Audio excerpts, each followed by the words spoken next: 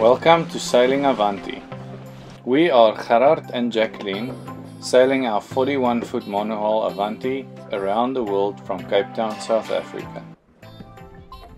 We are currently cruising the Kuna Yala Islands, or otherwise known as San Blas. While exploring these islands above and below the water this week, we also have to measure a major replacement part. We're on Green Island today and tomorrow we're going to spend a few nights here. It's the first super calm anchorage we have and some nice breeze so it's nice and cool at night. There's starfish everywhere and some local fishermen brought us some lobster so we'll have that for dinner.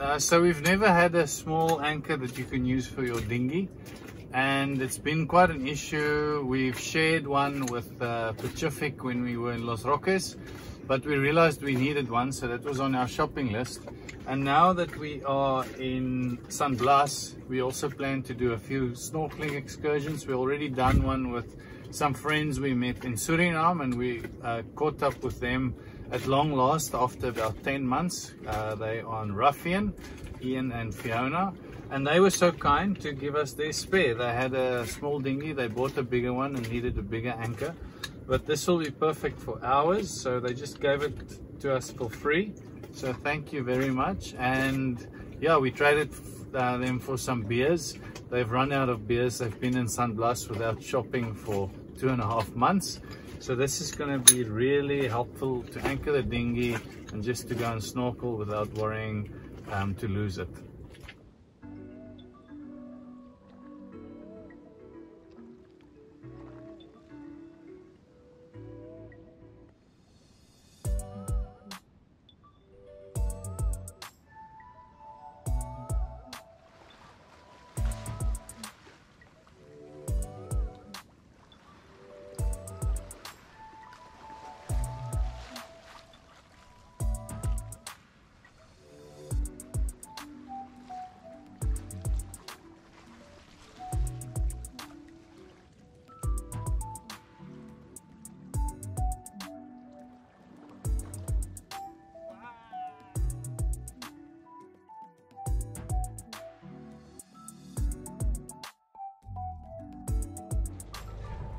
The next morning we were ready to head north to the Eastern Hollandes.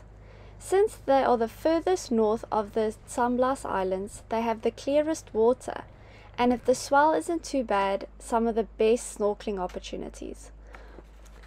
While Gerard was kneeing our bread, we had two visitors on the bow. Two naughty teens that seemed to be alone until their mums came to fetch them, we think. They were gone almost as soon as they came.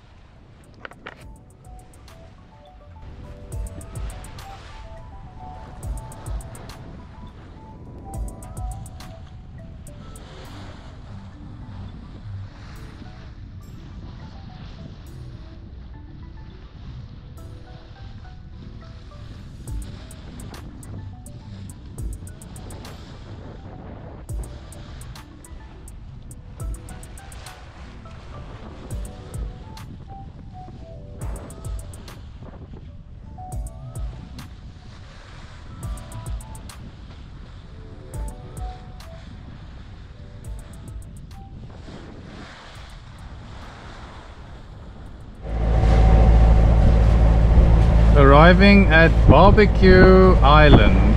It's also called Swimming Pool Beach. So hopefully there's a Los Roques type swimming pool, but the islands look beautiful. Our first day here, we couldn't actually swim due to the amount of jellyfish. If you look closely, you'll see the pink circles and what looks like a flower inside. There were hundreds of them coming past with the current.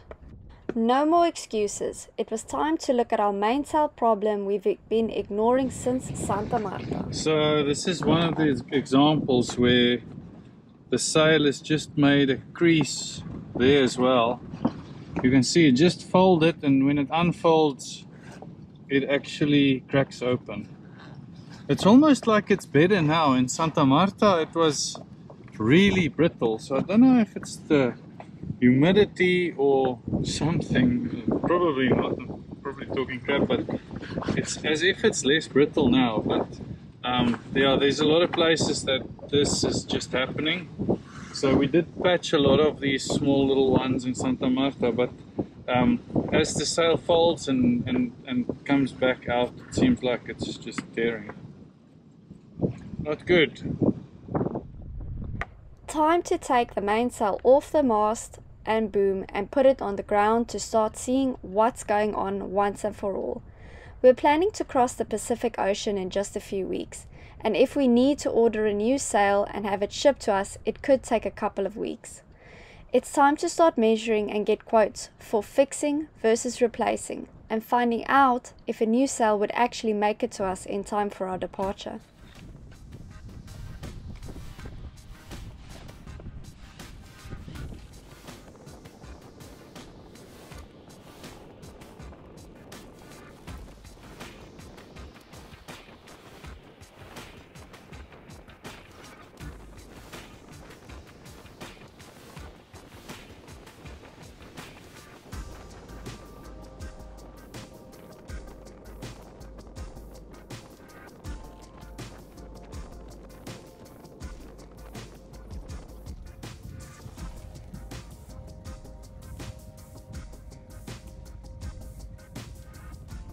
With not a lot of big open beaches, we had to sail to another island to take the sail to shore.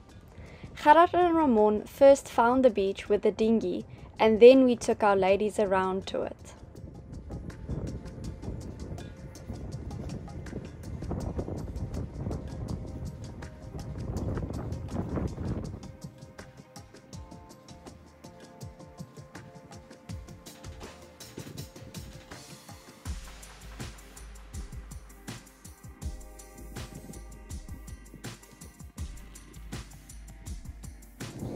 Today we're taking our mainsail to a beach. We had to move the boat. There isn't a lot of beaches with open space.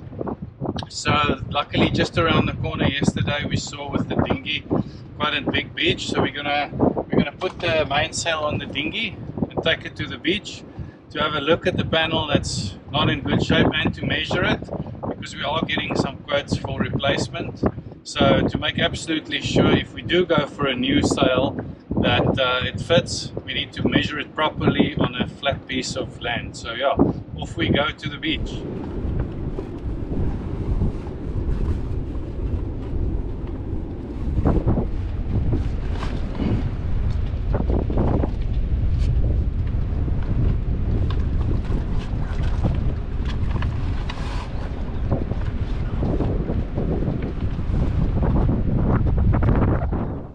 Arriving on the beach, this local Kuna man first thought we were bringing him the sail. His expression soon changed when we spoke to his English friend Ivan that we were just here to measure our sail. He owns a restaurant on the other side of the island and makes superb lunch or dinners on request, and even delivers fresh bread in the morning to your boat. What more can one ask for in an anchorage? This island gave new meaning to same boat jobs, different paradise. Luckily, help was on its way. So we're using our Oryx horn for the first time. Uh, we brought it with us for a self-defense weapon. A friend of us in Cape Town, Vickers, gave it to us and Christabel. So it's a very good weapon if you want to hit a pirate um, and it's a legal weapon. But today we're using it for just securing the mainsail and stretching it a bit on the beach. So thank you uh, Vickers and Christabel for horn. So this, there's like two panels that we've seen that's kind of brittle and it's making these tears wherever there's a crease. So I don't know, maybe it's just the top part of the sail that's been exposed to UV or left open outside of the stack pack before we got the boat. Um, but yeah, some some parts are really brittle and it makes these tears quite easily.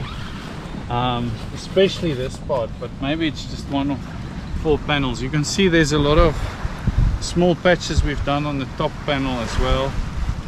So yeah I don't know but we're gonna measure it and see how it looks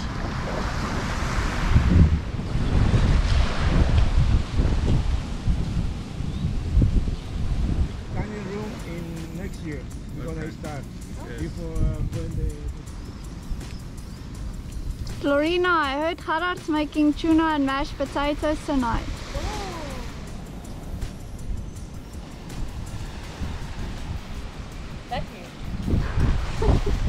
I'm living dangerously under the coconut tree.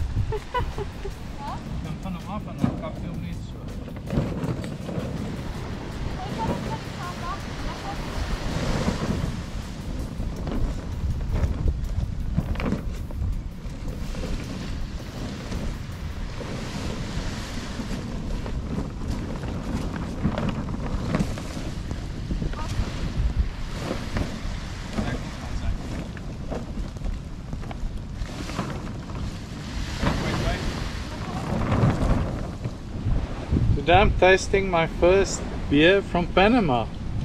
We've been here for two weeks, um, but only on small islands, so we haven't really seen any restaurants or shops, and we still have Colombian beer. But when we came to measure the sail on the beach, there's a little restaurant on this island, and um, the owner came to us to welcome us. So we thought we might as well buy a beer. He said he had some cold ones. So this is a Balboa. Like I said, it's the first one we see from Panama. It's a lager, cerveza, and it's got 4.4% alcohol, and it's a 350 ml can. How much was the cost? Two US dollars. So for a restaurant price, it's not too bad. Um, and everything in Panama is in US dollars.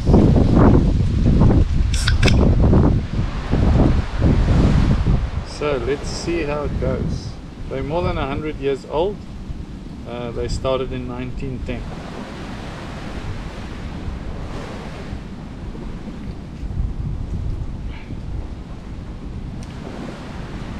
It is quite refreshing. It's hot today, so um, yeah, cold beer is always good. Um, it's a pretty good lager, better than I think some of the ones we had in Colombia, but definitely not the same as the Club Colombias. So, in terms of taste, size, and cost, uh, this one will have to score a six and a half out of ten. Cheers. Next week, we catch more fish, finish the measurement of our mainsail, spend more time in paradise, and we have a visitor. Thank you for joining us this week. Please give us a like if you enjoyed it, subscribe to see the next video, and leave us a comment of what you enjoyed most. Thank you to our Patreons who support these videos monthly. You can join them by clicking on the link in the description below.